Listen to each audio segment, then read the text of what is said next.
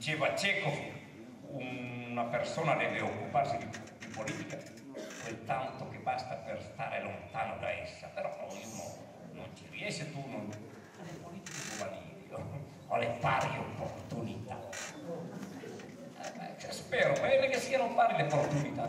No, se bisogna mettere uno alle, che, che un ministro delle pari opportunità. Ma perché ci sono anche dispari opportunità? È una roba pazzesca. Cioè, è come il fatto di dire se non ti metti il casco ti faccio la multa, ma dovrei capire da solo che se caro col motore mi spacco il cranio. No, bisogna fare una legge, altrimenti ci mettiamo il casco. È una roba pazzesca, è una roba pazzesca.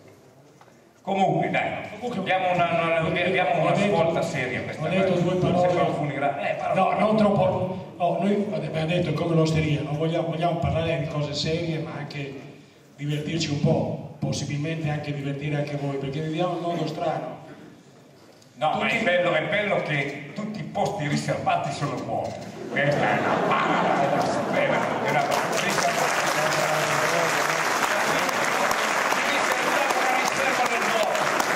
Allora io ti devo capire che almeno quando è vuota è un posto riservato. No, davvero, no, guarda, guarda, è paradossale, no? Qui dove sta il sindaco, grato, grato, riservato, riservato. E questo è bello, che gli organizzatori hanno riservato qualcosa a qualcuno che non c'è. Come quello che diceva, dai, dai. diceva quello sul, sulla sala troppo così piena, no, era, Bor, era, eh, no, era il maestro di Borre, no, comunque io non vedo in fondo lì perché mi hanno, mi hanno, mi hanno deciso di stendermi con quel faro lì. No? Io, ah, io, vorrei invece che accendessero lì per vedervi in faccia, per chiacchierare, no, io non posso star qui come una zanzara infilzata al, dallo spillo su, su, su, sul contenitore. Io vorrei vedervi, quindi mi pare che c'è un sacco di gente anche, anche che, e noi non meritiamo tutto Vuota l'ultima fila del riservato. Ma non vedo più in fondo lì. No, allora se, se, siamo orgogliosi con Maieron Capuozzo, anche mio amico qui, Vittorio, che ha la casa Erto, ha sistemato la vecchia casa di Erto ma non solo. Che cosa buttavate via? Anche nella, nell'infanzia, ma no, non c'era, allora io non voglio fare la retorica di, di, allora si stava bene, per carità, però io ho avuto un problema, sono caduto a dieci anni da una parete di roccia, mi ero spaccato un ginocchio e mio nonno mi pisciò per disinfettarmi, ma beveva, mi hai invenenato, no? Disinfettarsi. Un anno, un anno, un anno, sempre che oggi con tre antibiotici, antibiotici sarebbe risolto tutto, io avevo 10 anni, quindi nel 60, prima del Vaione. E per un anno non riuscivo a guarire, sempre eh, faceva pusta cosa, allora mia nonna acqua e sale, ogni sera con l'acqua e sale, no? mi grattava. Le garze per dirvi, chiaro che oggi si deve puntare soprattutto all'igiene, ma se non sono morto è la prova che l'igiene c'era, perché quando fai bollire le robe, le sterilizzi, le siringhe, le vecchie e poi queste garze le, le, le, faceva bollire, le sterilizzava. E poi le asciugava al sole no? o all'aria. E poi le, mi ricordo che io le tenevo tirate e le arrotolava, faceva tutti i rullini di garze un giornale, quando c'era, lo mettevano via per accendere il fuoco, lo spago, tutto, un tappo parte che si vedeva, eh, se sono qui vuol dire che siamo sopravvissuti senza mai pigliare nulla. Chiaro che oggi abbiamo perso anticorpi. O, o, ogni sega che ci capita avanti antibiotici, avanti medicine, il corpo non si difende più, non crea le difese, non crea gli anticorpi, quindi siamo presi. Poi c'è, il tuo collega, eh, come si chiama lì, che l'ha picchiato, mi hanno detto, no? poveraccio. Emilio Fede che la gente non sapeva, cioè ci si, non, non si buttava via e non c'era, andavi a prenderti la conserva, no? La, eh, i due leoni, qualcuno che ha qualche, qualche età se la ricorda la cosa, ti prendeva con un mestolino, tac, su una carta li, eh, lucida, la conserva, la piegavi i due leoni era su e non era che mancasse l'igiene, diciamocelo chiaro, oggi anche per, anche per, andare a letto devi, devi dissigillare il letto che è, è coperto di cellofa, io avevo, volevo, una sera coperto mia moglie col cielo fa. Fortuna che l'ho, disseppellita, stava gonfiandosi. Ma, insomma, non dico di, di, io non sono per carità un esaltatore di però c'era parsimonia, si metteva via le robe.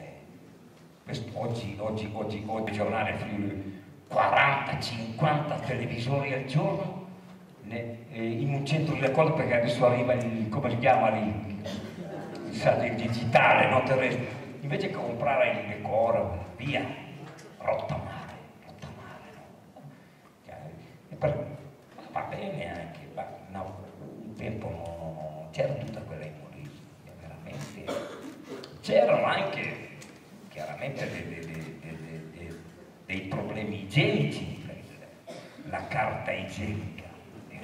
una delle, dopo la motosega la più grande invenzione del secolo. Solo che l'hanno ridotta perché tutto viene abbassato al livello del, del, dell'amore, no?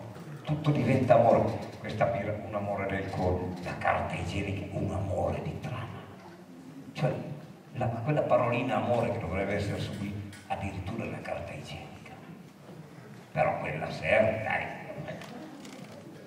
Ma quella è anche, il resto è superfluo. Abbiamo una, una, una colossale invasione di, di, di, di, carta, di cose, tutto che produce immondizia, produce, non immondizia, produce scarto.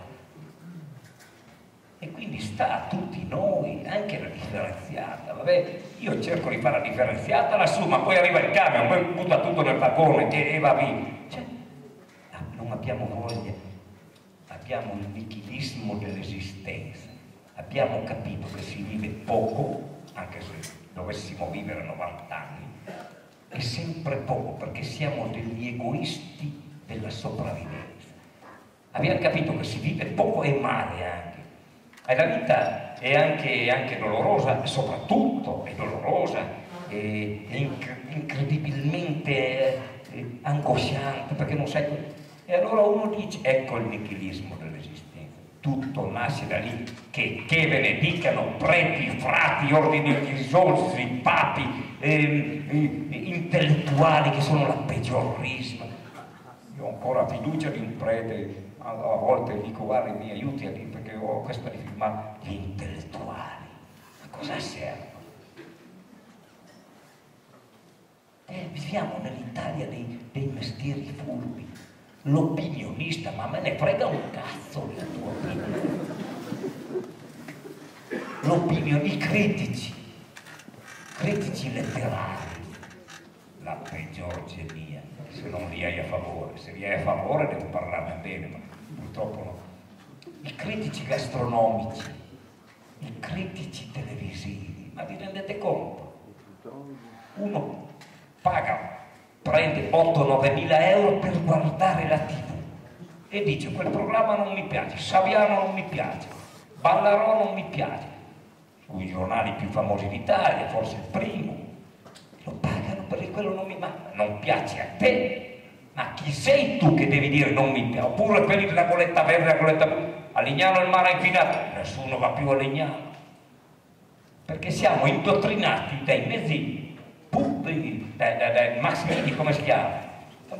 Capozzo dice, guardate che Erto, a Erto si respira un'aria metifica, come si dice, e siete tutti morti, avrete mal di pace e diarrea, nessuno va più a Erto conto? ci si sposa l'anno scorso ci hanno pigliato i turlupinato con 30 milioni di vaccini. Perché era l'influenza e abbiamo paura di schiattare ma si crepano spesso niente tutti qua era una bufala. Pensate oppure il critico, il l'ho conosciuto i critici, i critici gastronomici. Perché non c'è anche un critico sessuale che va a assaggiare? Quella non è senza non prendetela la ti dicono lì nel ristorante dove eravamo prima lì che, era il ristorante? La parentesi. Arriva un tizio con quintale 40 assaggi, no, qui non si mangia, e scrive su Campero Rosso, perché vanno a Gambari, perché vanno indietro i Gamberi, perché loro vanno indietro, Campero Rosso, Campero Blu, lì non si mangia bene, allora lì addetti ai lavori, no?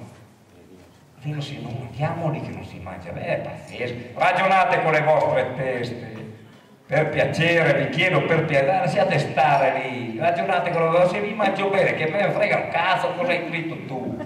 Sono prezzolati. Il mare di Lignano è inquinato, nessuno va più a Lignano al mare perché la coletta vergoletta blu, sì. Ah, chi non è inquinato? È assurdo.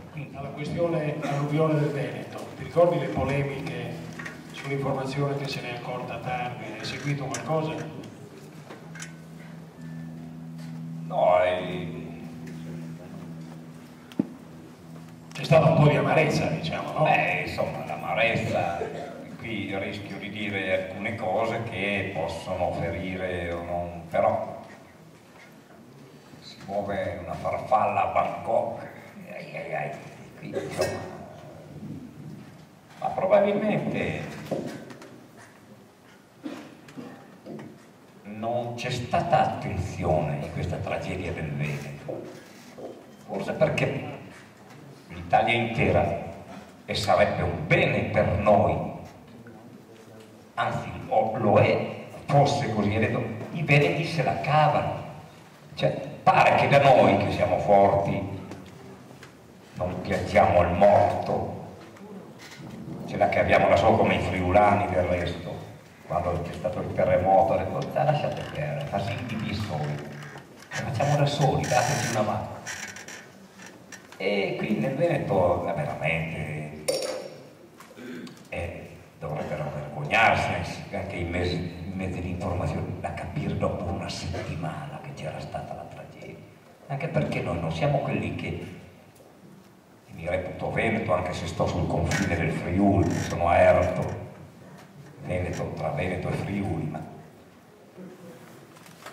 non è il confine che fa l'anima, la totalità delle anime, bisogna darci una mano. Però, insomma, noi non abbiamo detto nulla, non abbiamo sbraitato.